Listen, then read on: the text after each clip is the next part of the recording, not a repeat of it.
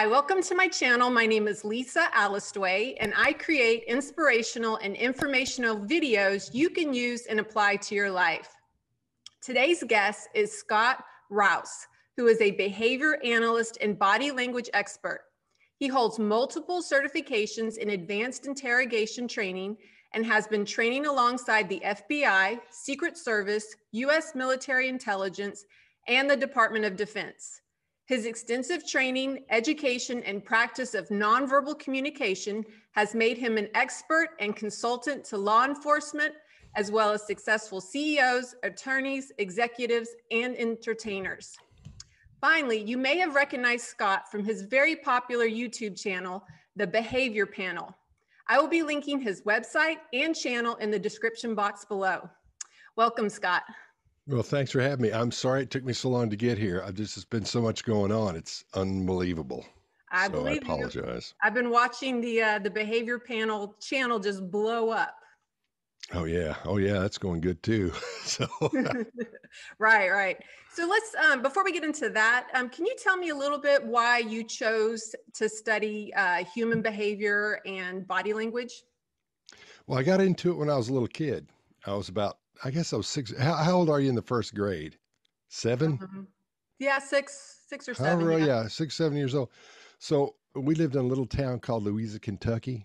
And my dad was the only doctor in that whole town for a while. And it was like, you know, 2,000 people or something. And we lived right next door to the school. And the hospital, which is like this really big house, was just a few blocks down. So my mom would come and get my sister and I and bring my little brother with her because he wasn't in school yet. And we'd walk down to the hospital and eat lunch with my dad. And as we're eating lunch in there one day, I said, Hey, uh, however you say it as a kid, uh, I saw two buddies of mine. And what we were in, we were actually eating in his office, but it was like this huge, uh, there's another room they'd added on to it, but you could see out into the to the lobby, into the you know, little lobby part of his of his office. And I saw two buddies of mine from my class, Billy Mead and um, Robert Bellamy. No, Billy Elkins. I always say Billy Mead for some reason, but it was Billy Elkins. And um, I said, Well, look, I know those guys. I said, What's wrong with them? And my dad went like this. He went, Oh, let's see. And he said, Well, um, Robert has an earache. He's been up all night with his mom, and Billy is pretending he's sick. And I said, Well, how do you know that? As a, however you say it as a kid. He said, Well, let's take a look at him. And I said, Okay, well, let's do that. So he said, Now let's look at Robert. So we looked at Robert and he said, Now, what do you see about his mother? And I said, I don't know. It's his mom. He said, "Well, look, her hair isn't isn't done. Every time we usually see her, her hair is done. She looks real pretty. She's got usually has makeup and lipstick and things on, and and she's wearing." And I said, "Yeah." He said, "See how her clothes look just a little bit wrinkly?" And I said, "Yeah." He said, "That tells me she's been up all night." Now let's look at Robert. And so we looked over at Robert, and of course he had his hand on his ear, and he's leaning on his mom. So he said, See how his hand's on his ear and he's leaning on his mom? And I said, Yeah. He said, Well, that tells me what hurts him is his ear. And I was like, Oh, this guy's brilliant. You know, oh my gosh, I can't believe he can tell that. And then I said, Well, what about Billy? How can, you know, he said, Well, let's take a look at him. He said, Look at his mother. He said, She looks pretty. Her hair's done. She's got on makeup. She looks fresh. She's sitting up straight. And I said, Yeah. He said, That tells me she got a good night's sleep. And I said, Oh, okay. He said, Now let's look at Billy. And Billy had a magazine and he was sitting there at a magazine. He was dangling his legs off the little bench. He said, "See how he's dangling his legs and and his eyebrows are up while he's looking at, the, at that mag. It was like highlights or something." And I said, "Yeah." He said, "Well, in just a second, in a couple of minutes, what his mom's going to do? She's going to lean over and say something to him."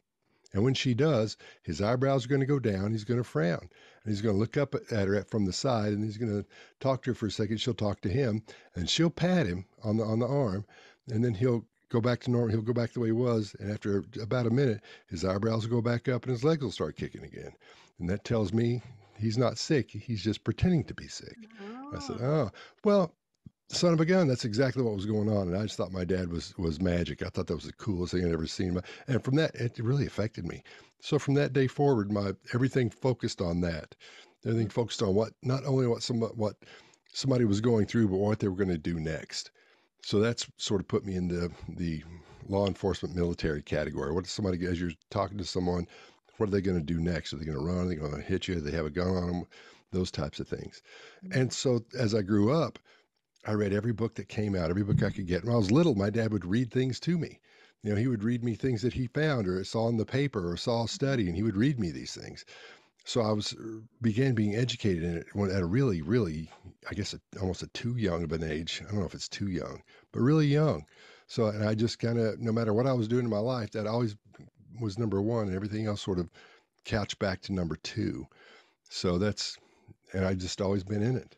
Wow. So the so, seed was planted very, very young. Yeah. Oh yeah. Yeah. Yeah.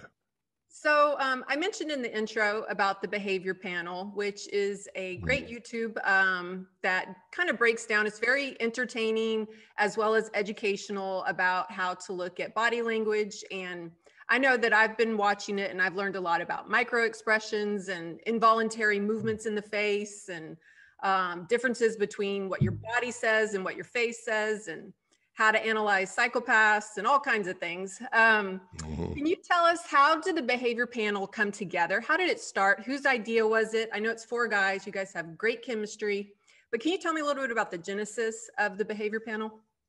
Yeah, it was well. Greg and I are buddies. We've been friends for a long time, and uh, and he's and I don't know. You should talk to Greg. Greg's he's like the alpha of this thing because he's he's that was in the army and was and ran what's called SERE School, which is where you send, um, you know, uh, SEALs and CIA. Everybody goes there. So if they get captured and they're interrogated, they won't talk. So that's and that's to make a long story short. That's what that school is about. And Greg ran that for a while. So he's he and I are always talk. We talk every day. So we were we were talking, and he said, "Why don't we?" And so Mark had, and I'd been talking. He said, "We should do a video, mate." And I said, "Yeah, we'll do." And and I had met uh, Chase through Eric Hunley, who we do his videos all the time. He's sort of like our fifth Beatle. So Eric and I, Eric connected me with Chase, and so we became friends over that. We talked on the phone all the time, and Mark and I talked a lot, and Greg and I talked a lot. And then Greg finally said, "Look, man, let's do a video. Let's get everybody together, and we'll all do a video together, and let's pick something to. Uh, let's do the Tiger King." And we'll we'll just talk about what we see. I, yeah. yeah. So I sent everybody a video. I said, "Hey, Greg and or Greg suggested we all get together and do a video. I'll Zoom everybody, and we'll just record it, and um, we'll put it on YouTube and see what happens." So we did. And so that first one we did was, and there's a lot of goofing off in that. When we do these things, we for we get on at usually about four o'clock, and we start about five o'clock mm-hmm. uh, on Tuesdays and then we finish however how long it takes, and then from about 30 minutes after that, is all goof off. Before that, the hour before that, we're all goofing off, trying to make make each other laugh, and and you know talking about things we've seen or done that week or that day or whatever. Mm-hmm. So Greg's Greg was the the uh, inst- instigator in this case because we were all wanting to do something, but we never thought, well, shoot, let's do it together. But Greg's brain is a process brain, so he sees things differently than than the rest of us. Mm-hmm. So he said, okay, what we could do is we can make a video, da da da, and we'll get to. So it's it's really his idea. Okay, to come and up with just, channel. Just, yeah. Well, we didn't know we'd do a channel. We thought we'd just do the, that one. We didn't have a channel. We just yeah. I put it on my YouTube thing. Mark put it on his, Chase and yeah. Greg, and it did really well on all of them. So we deleted it from all of our other ones and started our own channel. We put it on one thing. Said, oh, maybe we'll get a lot of views on that. And then yeah. so we got those, and we said, and we said, well, let's do another one. At the end, you can hear us talking. I think mm-hmm. Chase says, we let's do another one. And we're like, yeah, we should do another one. So it was a, um, it was really kind of happened on its uh, by itself once once Greg instigated it. We just had the, so much fun doing it. We would be doing it anyway if we weren't doing any videos. We'd still get on there and goof around without recording it, you know, for an hour or so. I'm, I'm yeah. sure because and we do started, that anyway. You started a year ago, right? Yeah, a little over a year ago. A little yeah. over a year ago. I think May third or something was our was a year. Mm-hmm. Well, you guys definitely need to check it out. It's really good. Um, if you, especially if you have kind of an interest in crime and criminals and interrogation, it's it's really really good. Thank you. Um, Thank you. Yeah. Speaking of crime, I know you have a true crime workshop that you've released mm-hmm. with uh, Greg. Can you tell yes. us a little bit about what that workshop entails and what are the things that you would learn in a true crime workshop? Yeah. Well, we have it's our flagship course is this thing called Body Language Tactics. And you can and you you all of our stuff is at bodylanguagetactics.com. Like we're starting this um, membership site on Sunday. Mm-hmm. So um, that's where everything is. So if you want to go, you can go there or go to the truecrimeworkshop.com and you'll get there. Mm-hmm. And so what we again, Greg and I were talking and he said, you know, my, he said, Dina, his wife, she really likes these true crime shows. I said, Amber, who's my wife, said she's watching those all the time. And he said, I can't stand them. I said, I can't stand them either. So violent and going for what we do for a living. You'd think that'd be, we'd be into. But there's, you know, we were both like, yeah, they're so violent and gory. But then Greg said, but you know, there's, there's a, a structure to these. And I Mhm. said, yeah, because I've only watched a couple of them. He said, there's a structure to these. I said, okay. He said, what if we put a course together where we, sh- we, we walk people through this structure and we said, here's what happens here. When the first thing you'll see, first thing that happens is the 911 call. After that, the, the police show up, and it's the first responders show up, the ambulance, the police, those types of things. And then if it looks like it might be a little iffy, the detective will show up. And then what happens from there? So, and they, and all these shows have the same structure, the very same thing. So we developed, uh, again, from Greg's instigation, this thing called the liar's loop and the liar's loop walks you through how to and we're teaching it to law enforcement now and it's really doing well. So it's sort of becoming the new way to approach uh, breaking down a lie in interrogation. And the liar's loop walks you through the things you see in a lie and how you can use things in that loop. It's five steps or four steps to get to the person where in interrogation we call it boxing them in where they can't get out. They're, they have to say you know well i don't know or whatever so you get them this thing we call the death spiral of a lie that's the key to it for for for getting someone to admit they're they they are not being are not i don't want to say lying but they're that they're being deceptive in other words or Mhm. something isn't right here Mhm. so we deve- and so we went in and developed that in depth that that idea we developed that in depth and that's the first in depth that's the first thing you learn in the in the true crime workshop is how the liars loop works because it works throughout that show for no matter what your show you're watching you can see that person part of the the first thing that happens is when the person uh, be, tells a lie it's because they've been triggered there's a trigger to tell a lie and that's they've murdered somebody so they got to make up a story they Mhm. call 911 and the cops show up and then s- it, it, there are steps after that that tell you exactly what's happening in those and how to use each one of those steps to get to the right answer for things. And once you watch one of those shows after you go through this course and it's not that long the the lessons are all three and four seven minutes long. Mhm. you understand what's happening better and you can make a better call on whether that person is uh, guilty or, or not maybe not guilty but but having more to do with it than they say or having to do with it than uh, than you would before. And our mail used to be oh you know i really like the course now it's i can't believe what happened in the show here and they're explaining to us what happened from the things we did and taught them in the course Mhm. so it's it's that's the fascinating part is how it's affecting people how much they like it once they get in there and how much they actually use it Yes, yes. Um, so let's talk about lying a little bit and how to uh, maybe spot it. I know um, you guys talk a lot about finding a person's baseline. Everybody's a little different, and some of these tactics don't work on everybody. But maybe um, just kind of maybe break down some tips on how to spot lying or deception. Okay, well, let's talk about you because I've been able to talk to you for a few minutes, and it's one of those things where you, oh no, no, no, but when you, when you, as you speak with someone, especially for the first time, and you get to, you, you just pay attention to how they talk, the the tone of voice they use, how high pitched is it? You're still, you're still not back, you're still not back to normal when we were talking before this. You're still up here a little bit, so you're coming down slowly but surely. So you're you're not nervous. It's not me. It's just because you're working now, and you so you've got your work thing on. So mm-hmm. you're you're slowly coming. Your voice is slowly getting a little bit lower, and you're starting to move a little bit more back and forth. Before you're all when we, before this, you were we were talking. You were moving around, and then you sort of tighten up, as everyone does when the camera comes on. And now you start to relax a little bit. You're actually, if you'll go back, you look like you're a little bit shorter than you were before. Not much, and that lets me know that you're relaxing some. So Mm. that's a baseline. You you see what that person sounds like, how they react to your. and Remember when we were talking earlier, and I was interrupting you and, and asking you questions. I Yes. shouldn't tell you this, but I'll tell you, I do that on purpose because I like to see how you react to those. So I can get, so if I see you're surprised or you really don't understand, if I don't complete my sentence, I like to see what you look like. So I get, so when I, so if that, if I need to ask you a question and you, and I will know if you, I'll have a pretty good idea of whether or not you are pretending you didn't hear me or didn't understand or whether you really are because Oh, you wow. made specific uh, expressions when you were doing that for those types of questions. That's why those questions were a little bit different each time.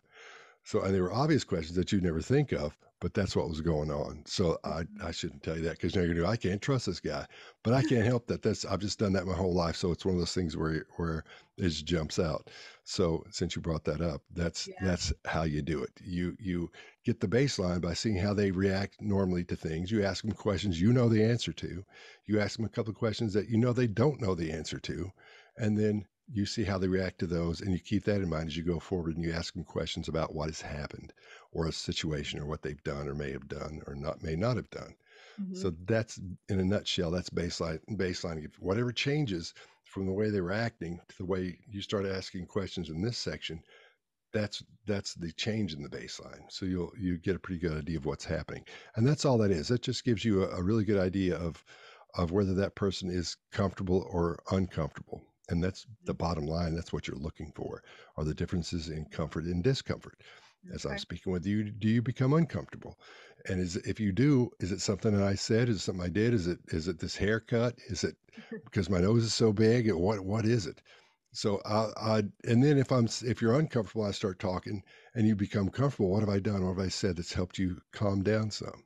Yeah. So I'm not speaking as loudly as I was when we first got on here as well, mm-hmm. because that's part of it as well. I wanted to see how you would how you so it sounds like I'm being a little not aggressive, but in a passive aggressive way, talking and trying to communicate and asking you questions when you as you begin to talk. And I can see if you get frustrated easily, I can learn a whole lot about that. So the baseline anyway, go back to baseline. That's that's the key there is finding out how they act normally. Since I don't have a lot of time with you before we start doing this, or as I as we I know we have an hour or something you've got. So that's why I like to do that fairly or I don't like I'm not gonna say I like to do it. That's why I do that fairly early so I can see what you're get a good baseline on and see what I'm dealing with. So your brain definitely is always like working as a body language person. Are you constantly always on and always like assessing people or do you turn it off? If I'm outside the house, I do. I, Yeah. th- but that's one of those things I when you when you train um, law enforcement and the military to pay attention all the time, it's just situational awareness. Some people say, "Oh, you live in fear or you're paranoid." No, I'm just paying attention to what's going on around me. Mhm. Most of the videos you see on TV where something goes wrong and somebody gets hurt or somebody gets robbed, they're not paying attention to what's going. You go, "I can't believe what's this guy sneak up on this one?" And and if all, all they had to do was do this Mhm. as they're talking, just get a quick look at what's going on and see what's different. See if see if they see anything odd. And a lot of people don't don't do that. So Yeah. I I I I usually I most of the time I don't at the house. It's my wife and I, and it's you know Yeah. no, it's not on at the house. But if we go somewhere after if I'm with friends and those types of things, then it goes way down. If we're on the behavior panel with those guys, you, you know, no, it's you you like to think, yeah, we watch it. No, we don't watch each other. You know, it's just because we're we're relaxed and you know Yeah. there's no no need to fear anything there Mhm. unless you're dealing with an emotional situation you might touch on something to see if you see anything weird but Mhm. outside of that so people say can you turn it off you do but there's there's really and you'll hear other people say oh yes i can turn it they can't they don't turn it off in no way because you you're interested if your true interest is in that you'll say oh yeah i can turn it off. No you, you don't because you want to see what's happening. That's that's i mean it gives you a buzz to understand what that person's thinking and you say oh, okay i saw this coming saw this coming. Sometimes it, you may seem distracted or, or you may have a you may um, change the conversation dramatically because you see something in that person's expression to something else that would be the only cue to might let you know that somebody's doing that to you i guess Okay. Well, that's interesting. I think a lot of people may be oblivious sometimes to the signs and people's body Oh, yeah. language, and they're just kind of, um, and, it, and it's kind of a disservice because maybe that's why they continue to have a lot of fights or maybe different stuff going on that they can't resolve. exactly Um, okay, so let's talk a little bit about. I know that you are a healthcare body language mentor. Mhm, Um, mhm. Can you talk a little bit about that? Yeah.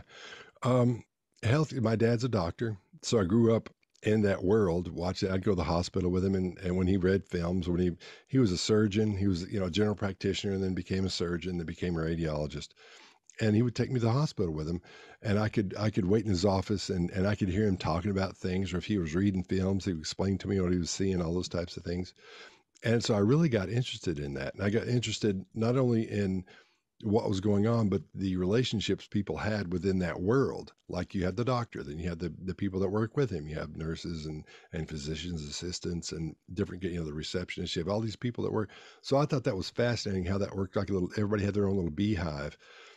So what we found out lately in the past few years is that technology is severing that relationship mm-hmm. with the patient and the doctor. There, there's there's a gap there, and when that happens, that's when the the malpractice cases just skyrocket. They go through the roof.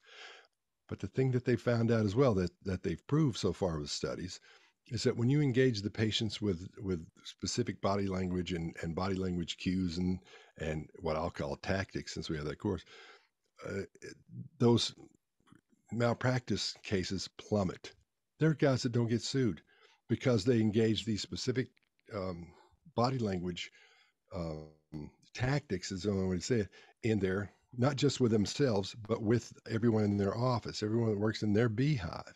Mm-hmm. So when the person comes in, for example, I had I found out I had um, thyroid cancer a couple years wow. ago, and when I was I was going through the process of that, I, would I'd had um, parathyroid problem. Listen to me, I'm talking about my I had parathyroid problem, had my thyroid taken out. I sound like those old women sitting around talking about what's wrong with them. So, but it goes with the story. So I had, I was having my parathyroid taken out, There's, and um, as I went through this process, um, I went to, to the doctor, and when I went in, I had to put my card in a thing and and then the woman the, the, the lady behind you know the receptionist wasn't paying attention. She was just she was looking down never looked at me the whole time i was talking to her. Mm-hmm. and i'm not going to say where this hospital was but it was it wasn't where i live and it wasn't where i got my work done where i got everything done. But it really made me mad because i went through a situation where nobody there was paying attention to me like I need to have attention to it. But I, but I looked at it from a patient's standpoint because I'd been hearing there were all these problems. So I was watching all these and I experienced all these things people complain about are true. And I saw all these things go down, all these things happen from the nurse coming out and saying, Mr. Rouse, real loud, and me not, you know, yelling my last name, not not looking out, just looking down at a sheet of paper and kept looking down. And when she came out and did that, I didn't say anything. She said, Mr. Rouse. And then finally she looked up and I said, You looking for Scott? Yes. I said, Okay. So I followed her down the hall. We went through that and it was just horrible the whole time. Mm-hmm. And then finally the doctor, uh, I went in and, and my doctor wasn't there that day, the guy that was taking care of that at the time. And mm-hmm. uh, I said, so I waited on him and he came, another doctor came in and I, he said, okay, what's going on? And I said, you tell me. So I don't know what's going on here. I don't know. Nobody's talked to me since I've been, they've yelled at me since I've been here. I don't know who you are. Nobody told me you weren't, you know, that you weren't going to be Dr. So and so coming in. So I don't know what's going on, man. But I tell you what, whenever my other doctor gets back, I'll come back. So I'll, I'll, I'll check it. Out. So I left. I, just, I was so mad I couldn't stand it. And everybody gets mad, but they don't know what else to do. And I mm-hmm. feel so sorry for these for, for, for patients who go in there who are you have patients in in the where I was sitting these people, people were wondering if their cancer was back. They're wondering what cancer kind of cancer they have. Do I have diabetes? How bad is it? They're they going to cut my foot off? All these different things in in this office, and these people are hollering at them and not paying attention to them, not comforting them at all. And that's what they're supposed to be doing. Healthcare is care. Mm-hmm. So listen to me getting all mad about that. But anyway, so what I found out was as I went through this and explained this to, to the doctor, he said, because he called me and said, What happened? And I said, Here's what happened. And he said, We need to change that. And I said, Yeah, you do. So I walked him through what I call the patient engagement loop. Um, as, as right after we developed the liars loop, I was like, Oh, I'm into loops. So I came up with the, the patient engagement loop. And that is basic, basically what happens is when, when you go to the doctor, the first the first thing that happens you have where the the patient engages the staff. The first thing when you go in you pay and and if they don't say hey how are you if they don't make eye contact with you you know those things so you feel okay great because you're scared to death going to the doctor. Something's wrong that's why you're there or you're going to find out if something's wrong. So when you go in and and all they do is say yeah go over to the kiosk and put your stuff in there you, are like, oh no, and you feel isolated and alone. There are ways to get around around those things. There's specific things you can do. Mm-hmm. Then after the after that initial engagement, then you have the nurse or the PA or whoever comes out to get you. You have engagement with that person. you know, they, you know, the patient engages or then the nurse engages the patient. And so they go down and, and go, in other words, go in the doctor's office, the doctor engages the patient. And then after that, the, the, the patient goes back and re-engages the staff.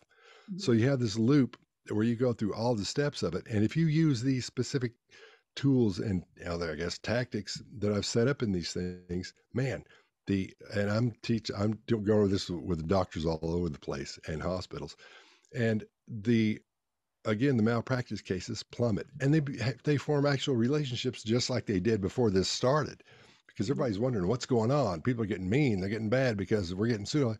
Well, for some in some cases, that's that's why, you know. Mm-hmm. But you have some some guys like uh, Dr. Over Overholt, the guy that actually found that had cancer. Man, his place is great, you know. And and there are other there are other doctors. Uh, uh, Dr. Kaiser, Jay Kaiser here in, in Nashville, the guy that takes care of me all the time, has for years and years and years.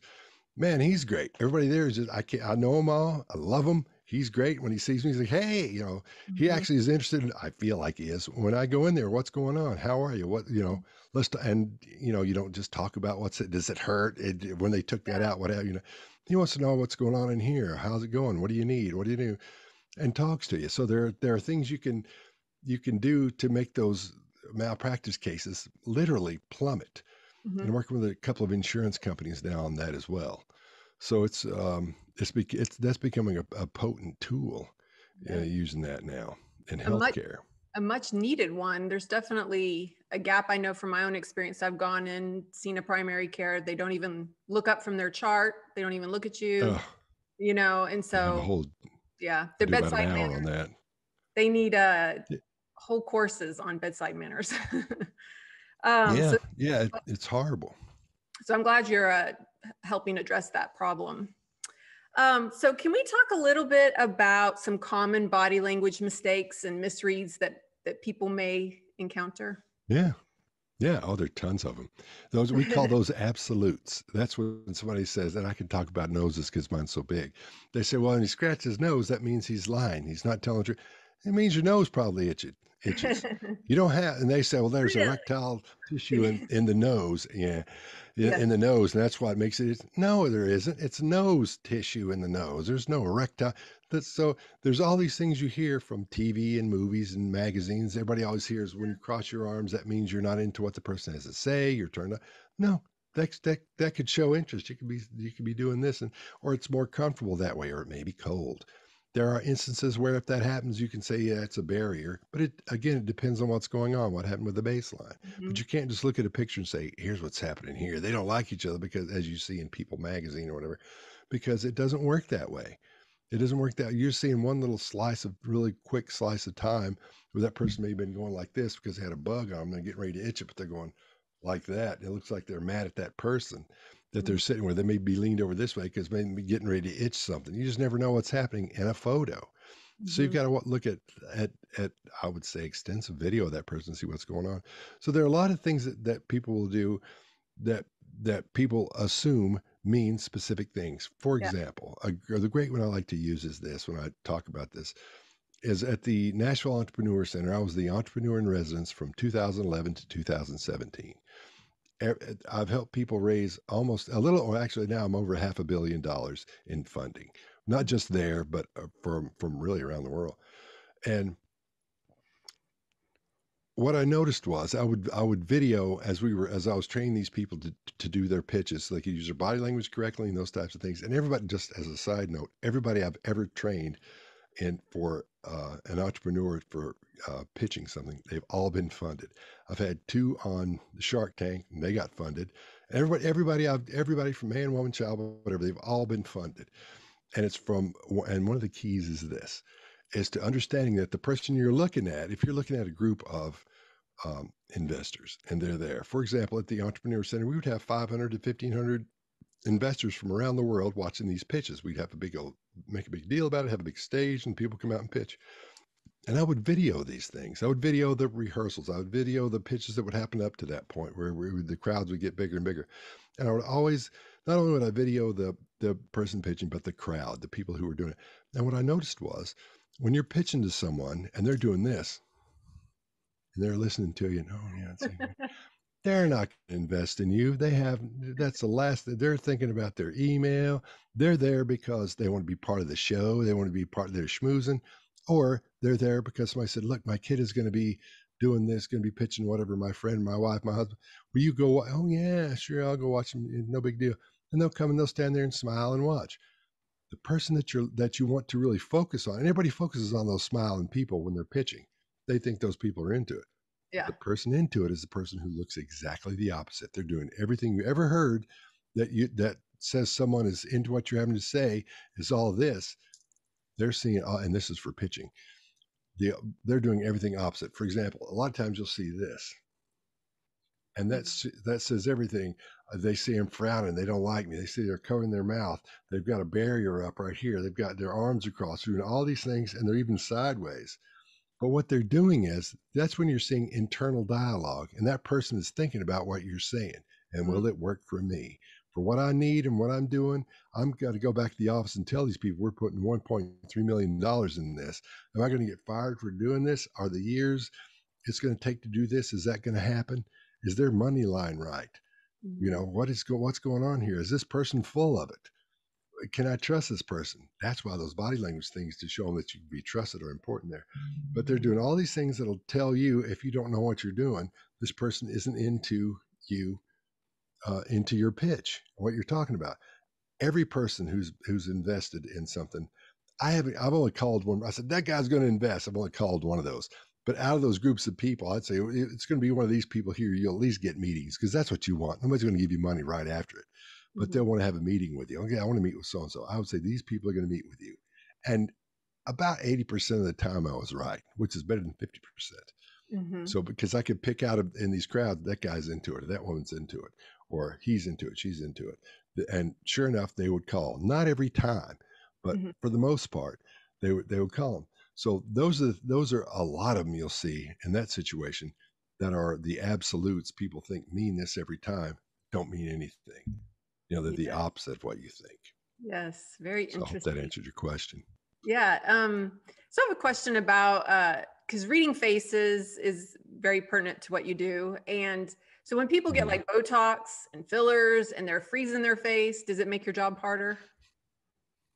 Uh, a little bit, but uh, you can all you can always see like a little little movement up here. They don't get it up here. They'll get it right down in here is where it mostly happens. Mine, I should get that because look, this stuff's never Got the going away. 11. Because I'm, oh, it's horrible because I'm always going like I'm always looking at people like, Yeah. hmm, you know, it's from being Yeah. mean all the time. But so wh- when you have these, they never go away. But you'll you'll see a little movement up in here, so that that can help you a little bit. That's when you really got to start watching the little things they're doing with their shoulders, their neck, their head, uh, how they breathe, or see if their eyes are dilating. If you can get close enough, those those style things, or what they're actually saying, and the tone again, the tone of voice. Uh, do they slow down? Do they speed up? Do they talk quietly as they in the sentence? You know, does it get quiet, or what we call or fading facts? So there are a lot of things you can do instead of just watching their face. You can see you can see little movements in there that'll give you a pretty good good idea what's happening. But I never fear that or or because you know they've done it once you once you get in there and get talking to them, you can see them just you know, yes, I'm having a great time. It's gone, you know, you see one of those, it's like, oh my gosh. So it doesn't really bother me. Doesn't give me a problem anyway. Um, so let's talk a little bit about interrogation because I find that quite fascinating. Um, your background is in interrogation and training Mhm. interrogators, and um, can you kind of go over maybe some like typical interrogation techniques? Sure. Well, one of the first things you want to do is make the person uh, feel like you're not a threat. That's the key, because you want that person to stay as long as as long as you can get them to stay. Because in those situations, they can say four words: "I want my lawyer," Yes. and then you got to say, "Okay, we'll see you later." You can say after that, "Are you sure you want to do that?" Because once you, you know, there are things tactics you can use, but you mm-hmm. have to get them a lawyer. You know, once they say that, you either in some some states you have to leave, you know, or they get to leave, but you can you can add, "Are you sure you want to do that?" Mhm. Because if when you do that, here's what's going to happen. So you can add that to it. Um, another good tactic. One of the, one of the things, one of my favorite things to use in in, in one. Let's say if somebody's because I, I do a lot with um, embezzlers. You know, there's money missing from banks and things. And one of my favorite things is when they uh, when you use what's called the bait question. You know, you'll say, would there be any reason whatsoever for your DNA to be in that safe whatsoever? I mean, I know you don't, they don't let the whatever it is in there for whatever reason. Would there be any any reason for your DNA? And what I, what I mean by that is, and you go on these ridiculously, you know, uh, skin cells when you maybe coughed and some spit came out and got on something, or maybe a hair fell. These things that you would, you know, you'd have to be CSI to find, which you know they haven't found. Would be any reason for any of that to be in there? And they'll say, oh, the person who, who I would still keep suspecting would say, well, I, I can't think of a reason why that shouldn't be in there. It shouldn't be, you know, but the person who who didn't do it that you can usually tell will say, no, it wouldn't be in there. No, no, no, not mine. Unless you put it in there, it wouldn't be me. I hadn't been in there, so no, it wouldn't be. They'll come out with a straight no. A lot of times they'll be in, you know, um, a bad word before that, but they'll they'll be emphatic about no. But mm-hmm. in in that situation, there there are hundreds of little things you use. But I mean, if you, if you want to get specific, ask me something about something specific, and I'll tell well, you that.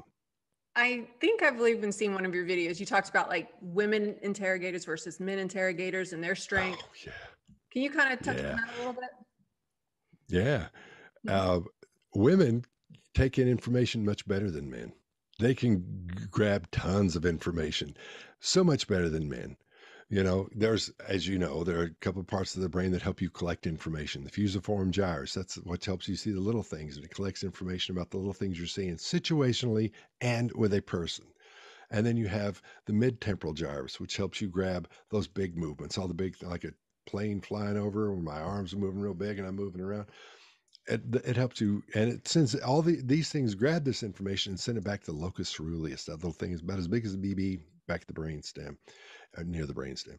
And that's the part where it goes, it gathers all that information and starts helping you make decisions about what's happened. In other words, is this um, is this a good situation, a bad situation? I, I I'm really not thinking about it, but as I'm going through it, and that's what gives you what gives men what are, is known as a gut feeling. We get a gut feeling, and we just know it all because we're men, and we get a gut feeling.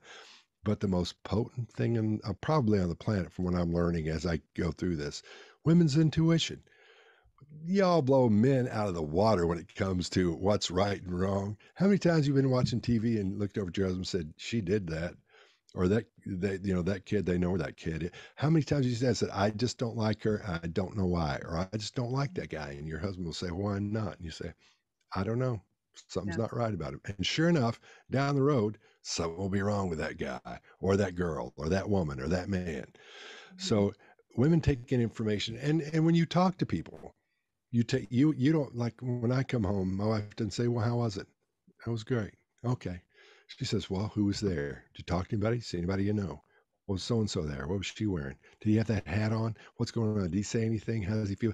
She wants all this information, and you can't help it because your brain just collects all those things and and that's why women love, uh, in my opinion, social things, and they get along so well, and they they have all these things going on because their brain can handle it. Where men just do these, you know, we have one thing we do socially, we have one thing we do this, everything really basic. Whereas women's are like almost things, little things, are very organic, little things yeah. growing off of it. You know, this relationships, this happening here, I go do that. So women's brains can handle that information. That's why women interrogators can, man, they'll spot things you'll never think of you come in after talking to somebody and say, well, so what, what, what, do you, what do you think?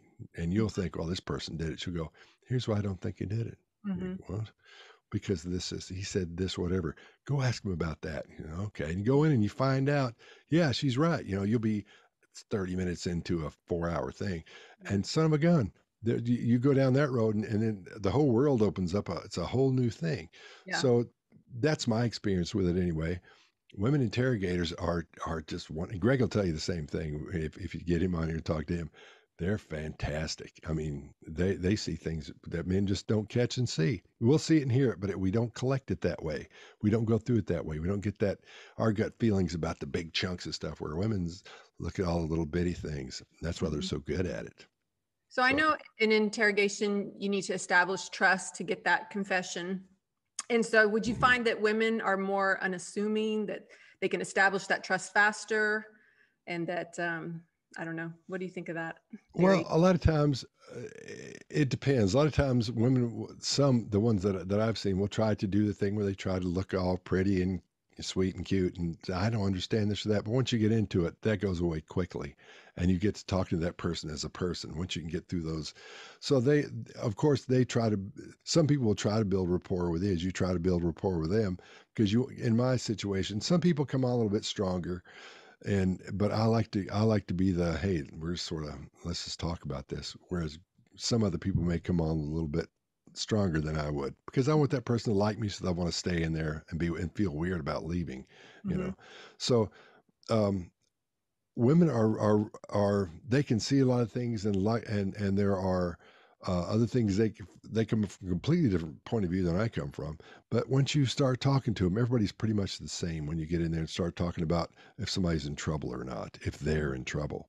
Mm-hmm. A lot of you know most of the time they'll go down the same road, so it's really not hard to to build that rapport with someone or with a with a woman uh, in those situations. Sometimes it is if they're not um, if they know they're in trouble and they're just going to fight you the whole time, and mm-hmm. you know so but other than that, no, I it's I don't find it a problem. I've never really had much of a problem with it. Okay.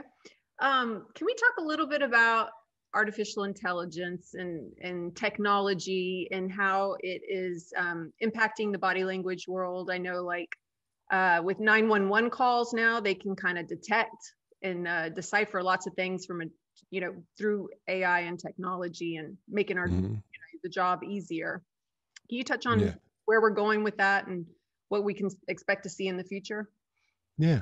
Well, in those situations, you're, you're, when you were talking about AI and, and 911 calls, you're listening to stress levels. You can you can we can't hear and see specific things. We can get a pretty good idea what it is. Say, oh, they sound stressed, but the the um, the AI can now figure out what level of stress they're at. What is this, is this person? By the way, they're saying specific words. Is are they being honest or are they being deceptive? whether it's it's it's not 100% how can it be 100% it's not. Mm-hmm. it'll be close you know people say yeah it's wonderful it's really good and and because it, will get rid of like interrogators they'll, they'll they, theoretically they would be gone he just turns the machine on these people. But i don't i don't think it's going to go that far because you know what happens in all the movies when that when that happens. But um yeah, there's but there's a lot happening. You, know, you, you see eye scans, and you can the computer the uh, AI can tell where the eyes are getting bigger, smaller, and they can see hot spots on you and those types of things, and take all those things in, into consideration that you can't see. So mm-hmm. specific parts of the head and the face lighten up, um, or getting warmer or colder as they go through a story or as they're talking. So it, it's it's going to be once once it gets all worked out, and we learn as much as we can about it. I think it's going to be fabulous. I think it'll be fantastic. But of course, like anything else, you know, robots. You don't want them to rule the world. You're going to send so, a robot into yeah. the interrogation room. yeah. So that's you know, I don't know. We'll see what happens. You always have to have a person there somehow involved. Yeah. I yeah. I think so. I, I do find it fascinating though how much um, we have the technology has advanced just in the last like 20 years and applying it to situations like this that people uh, may not even mm-hmm. realize that you know the robots scanning you and figuring you out. So what do you have as far as body language tips for better communication and relationships? Um listening. Listening yeah. is the most important thing. And so when you're listening a lot of times you have to look like you're listening. So to do that all you got to do is cock that head a little bit so the ear gets so it looks like you're using your good ear to listen. So you might when somebody gets into something, you might want to not like lean in real hard, but turn your head a little bit, look like you're listening. And when you're when they're listening, just act like you're listening. Don't move a whole lot, you know. So and nodding the head a lot works too, because once you start nodding your head like you just did, once you start nodding your heads, the other person nods their head as well.